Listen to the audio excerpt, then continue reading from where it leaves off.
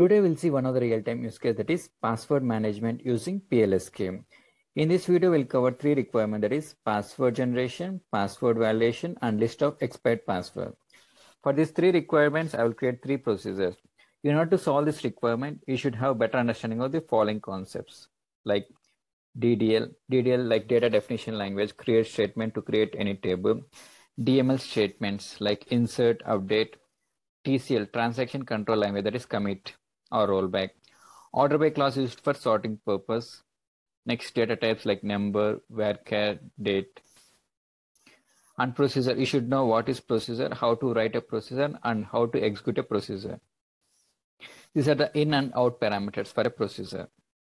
And anonymous block is used to execute a procedure. Sysref cursor, uh, this is used to store the query result set. And for loop cursor, to iterate a number of uh, results. 12c feature, will in this requirement, we'll see one of the 12c feature that is top-N feature, fetch. And also exception, how to handle exception. And DBMS random is the Oracle provide package that is used to generate uh, special characters or numbers. And DBMS output is nothing but to see the result on the console. Let us discuss some of the concepts like DBMS random. This is the Oracle predefined package. By using the package, we can able to generate, uh, it has so many functions. One of the function is the string function. So by using P, what is the instance? Like it will create, it will generate six length character. That is a combination of alphabet, number, and special characters. So if you have time, please go to the DBMS random package. So I have created one video like OTP generation. By using DBMS random package only, I have generated the OTP. So what is procedure? Like this is the syntax for the procedure. Create or replace procedure, procedure name as begin dbms output dot put line hello world. This is the sample procedures. So if you want to execute the procedure by using anonymous block, begin procedure name, that is the sample procedure and end. So output will be hello world. Next one is system cursor. This is nothing but a weak ref cursor. So it is a pointer to query result. The syntax would be variable name and a system cursor. The first requirement is the password generation. We all know that when you join any company, we'll get one user ID and one default password. Same concept I'm using here. Input is the username, output is the user ID and password. So in a processor, for the processor, I'm taking input as the username and the outputs are user ID and password and some conditions I'm adding here. The length of the password should be 10 characters. And also the first two characters of the password should be uppercase of the username. And the remaining eight characters should be alphabets. It's a combination of alphabet, numbers, and special characters. So by using DBMS random, we can able to generate this password. So for this requirement, I need to create one table that is DDL. Create table, table name. Password details is the table name. So in this table, I have columns like ID, that is the number, username, that is the varchar, password, created by, created date, like who is created and when, when it got created, and also modified by unmodified date. So these are the columns like ID, username, password, created by, created date, modified by, unmodified date, like when it got created and when it got modified. So I will start writing the procedure, create or replace procedure, procedure name. So your password generation is the procedure name. So by using the, we need to write a, we need to select the name so that by using that name, we can identify what is the functionality of it. So by using that name is like password generation, we can identify that is a, it is a generation of the password. So it has one input parameter that is p username and two out parameters that is the user ID and the password. Based on the username, we need to generate user ID and the password.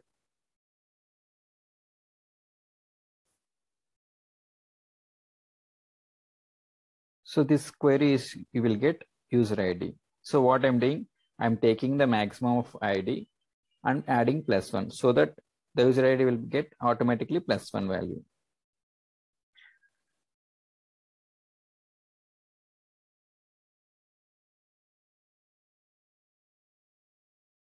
So what I'm doing, I'm extracting first two characters of the username by using substr. And also I'm doing uppercase so that whatever the username given, it will it will extract the two characters and it convert into convert into uppercase. And also by using pipe symbol, I'm combining these two strings, that is the upper uh, two extracted characters as well as the random string. I'm storing these values into the p password. This is the out parameter. Hope this is clear. By using max of max of id plus one, we are getting the user ID. And by using substr and dbms random dot string, we are getting the 10 character length password. And we are storing into the p user ID and p password. These are the two uh, out parameters. And these three record should be inserted into a table. That is the password details table. ID, username, password. So these are the columns. So we need to insert those records into a table. User ID, username. This is the username provided by the user. P user ID and P password is the out parameters. And created by is the admin. Created it, we are creating right now only. That's why sysdate. Modified will be admin and modified will be sysdate. Since it is a DML statement, we need to control this transaction by using TCL statement commit so that the data will be stored permanently into a database. So this is the end of the procedure. That is password generation. Now we need to execute this procedure. By using anonymous block, we can able to execute this one. Password generation is the procedure name. It has one input parameter, Praveen, and two output parameters, that is ID and password. So if you want to store the result, we need to declare ID, password, so that we can able to use that two variables. So if you want to see the result by using dbms output dot put line, we can able to see. So this is the this is the this is the way to execute any procedure. So if you want to see the result, output will be ID is one and the password is first two characters P Praveen, first two characters will be PR and it, it is converted to uppercase and remaining eight characters are generated by DBMS random package. So if you see the result in the table, select star from password details, entry has been made, ID Praveen, password created by created. These are the columns. Next requirement is the password validation. In this requirement, what we need to do is that whenever user want to update his own password, we need to put one condition in such a way that the same password which he wants to update, that shouldn't be in the last three password. So while updating the password, we need to check the con condition like that. The password which he wants to update, that shouldn't be used in the last three updation. So in order to do this one, we need to create one table that is password log table. In this password log, we'll create all the log history like ID, username, password, and inserted when it got inserted, inserted date. So this password log table is used to log the list of passwords for the particular users. I'll start creating one procedure that is create or replace procedure, procedure name. That is the password validation is the procedure name. It has two input parameters, the user ID and the password and the p message out parameter. So user ID is the user which he wants to update and the password is the one which we which he wants to update. So based on the user ID and password, we need to update and p message is used to capture whether it whether the user uh, whether the password has been updated or not. So password exception exception. So this is the declaration of any exception. One local variable l current password which is used to capture the current password.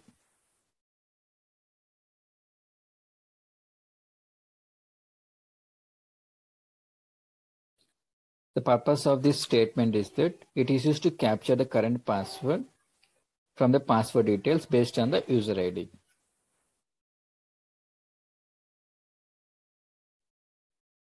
So I'm using for loop cursor.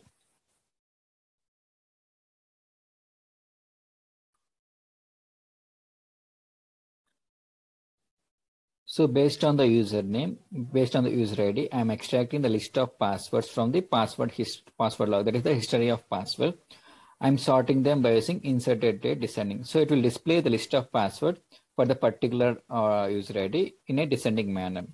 By using 12C feature, 12C feature, what is the 12 feature? Fetch first three rows only. It will extract only three records for the particular user ID.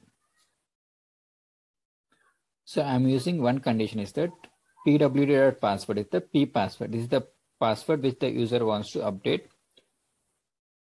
And L current password, the password from the uh, password details table. So if any of the condition matches, then what we need to do, we need to raise an exception that is password exception. So I will explain one more time. I'm taking the for loop cursor. In the select statement, what I'm taking, I'm extracting the list of passwords for the particular user sorted in a descending manner based on the inserted date. And by using 12c feature, that is the first, first three rows only, it will extract three records. So I need to check the condition that whether the password is already used or not. For this one, I'm using one if condition that is pwd.password is the password from the password log and p password is the which is the user wants to update. So I'm checking whether the record is already there in the password log or whether either it is matching with the current password. So if it matches, then our requirement is that it should not be the last three passwords. So if, if no issues are there, it will come, if it, it won't go into the if block, if it come out of the end loop, and we need to insert them into the password log table. Before updating the any password, before updating the uh, password, we need to insert the record into password log table.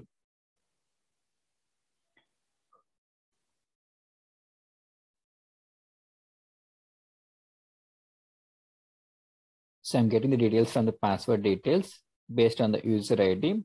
So I'm inserting this all these records into the password log table. Then what I need to do, I need to update the password details table with the password which is sent by the user. And also I need to update modified date. Here, if you see in the password log, inserted date will be sysdate because we are inserting current right now only. And also if you see while updating the password details, I'm setting the password to the current password which is sent by the user and also modify data as the sysdate for the particular user ID. Since insert and update are the DML statement, we need to put commit so that entire changes will be get updated. So everything is fine, what we need to do, password updated successfully. Please log in with the new password. So I will explain one more time. Before updating any details, what we need to do, we need to insert those record in the password log and we need to update them. So once everything is done, we need to commit those transactions and we need to send to the user. This is the success. So we need to handle the exception. Now that is the password exception. What we need to do, we need to do rollback so that the changes will get uh, rolled back. And we need to send to the user like password already used in the last three updation. Please try different one.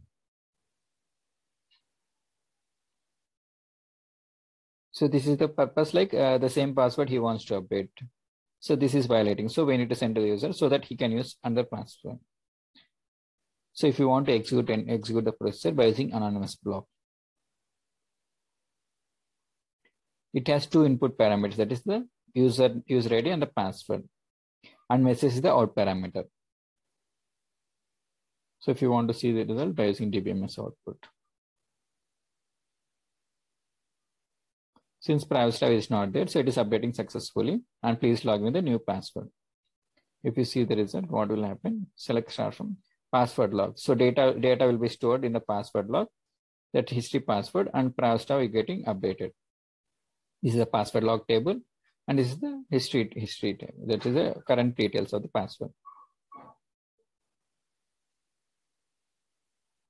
Already private is there. So if you want to update what we need, it will throw an error. So already it got updated with private stuff. Again, I am ex, I'm, ex, I'm I want to update with private stuff for the particular user ID one. So what will get password already is in the last updation. Please try different one. So next requirement is the expired password. So we need to display the list of expired password based on the number of days. So in our company, we'll get like uh, uh, for a particular one month or two months, we'll get the mails. Please, your password is going to expire. Please update it. So for this requirement, I'm creating one uh, procedure for it to display the list of expired password based on the number of dates. Based on the number of days, we need to display a list of expired passwords. For this requirement, I'm creating one procedure that is the password expiration IDs. So we need to display list of expiration IDs. So input is the P days, like number of days. and result we are storing in the system cursor. So open p result for this is the system cursor variable.